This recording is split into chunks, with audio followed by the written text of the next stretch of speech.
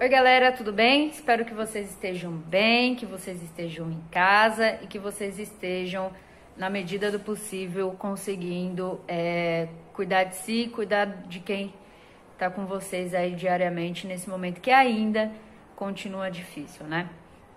Vamos pensar um pouquinho nas nossas atividades anteriores.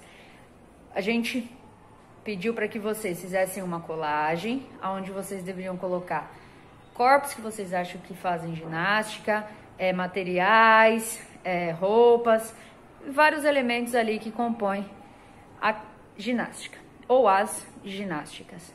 Depois desse material a gente baixou ele, fez um arquivo e aqui na sala de aula a gente apresentou para as crianças e no Google Sala de Aula a gente mandou, né, via arquivo para vocês darem uma olhada e vocês responderem algumas questões.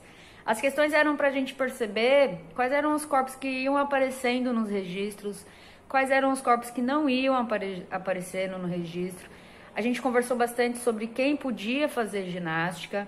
A gente também conversou sobre quem não podia e quais eram aquelas pessoas que não apareciam ali. Quais eram aquelas pessoas que as crianças achavam que não apareciam e que também não podiam fazer ginástica. Pensando nisso, a gente vai começar a ver corpos na ginástica. O que isso quer dizer?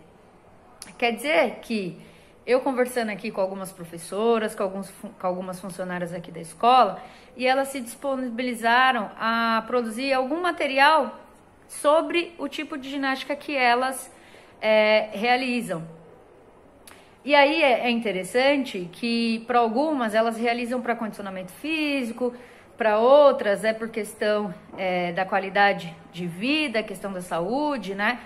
Outras, no meu caso, por exemplo, eu faço por conta do esporte que, que eu pratico, né?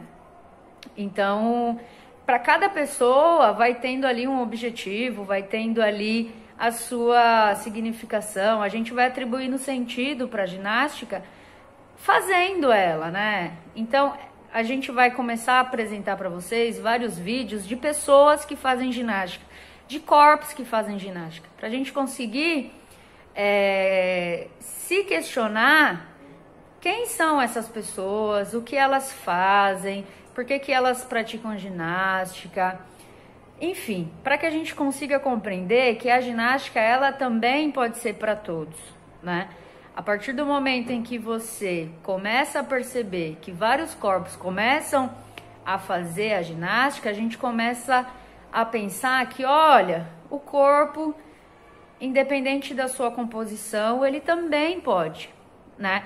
Vamos ver que, vamos perceber, vamos olhar, vamos analisar, vamos ver esses corpos transitando na ginástica, vamos ver como que esses corpos fazem a ginástica.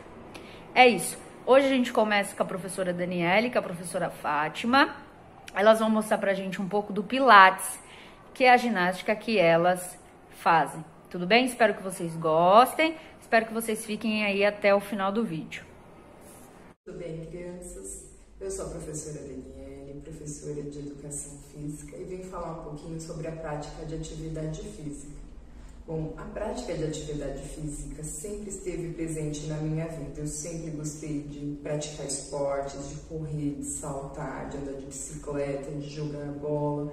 E isso foi uma das coisas que me fez escolher ser professora de educação física, porque eu gosto muito de estar em movimento e ver os meus alunos em movimento. Tá? Quando eu não estou aí na escola, eu estou aqui no meu estúdio de Pilates. É, todos esses aparelhos que vocês estão vendo, inclusive a bola, o tatame, são para prática de atividade física, tá? Para desenvolver um corpo e uma mente mais saudável através desses aparelhos. Os meus alunos, eles vão ganhando mais força, mais equilíbrio, mais concentração. A gente trabalha a respiração. Então, para praticar o Pilates, a gente precisa sempre estar com uma roupa mais confortável e leve. A gente não usa sapato para a prática do Pilates, então eu sempre estou com uma meinha dessas coloridinhas, que tem umas bolinhas antiderrapante para poder fazer os exercícios e não escorregar. A prática também do Pilates sempre está acompanhada com uma música calma, tranquila, para nos ajudar a manter uma respiração mais leve, né, se concentrar mais na nosso, no nosso corpo. E o Pilates, ele não tem nenhuma contraindicação, tá? Então eu dou aula para criança, para mães, para pais, para avós.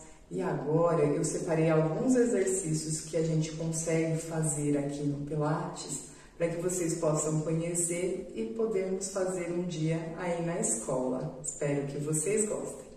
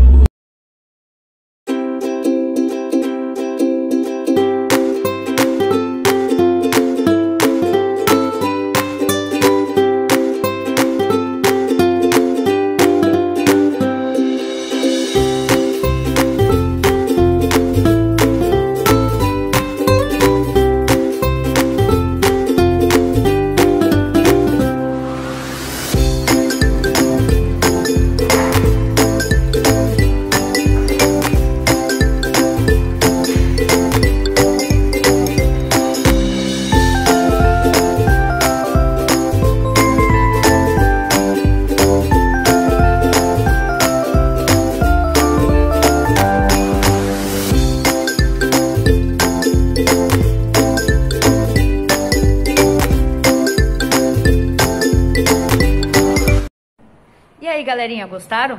Massa, né? A ideia, então, para essa atividade é que vocês possam aí escrever o que vocês acharam, né? O que tocou em vocês ao acessar, é, ao entrar em contato com essas produções, tá bom? Não se esqueçam, vamos utilizar máscara, vamos fazer higienização das mãos, vamos fazer a higienização do material que a gente utiliza, evitar aglomeração, porque a vacina está chegando, mas ainda não chegou para todo mundo, tá bom? Espero que vocês fiquem bem, que vocês fiquem firmes e até a próxima. Tchau!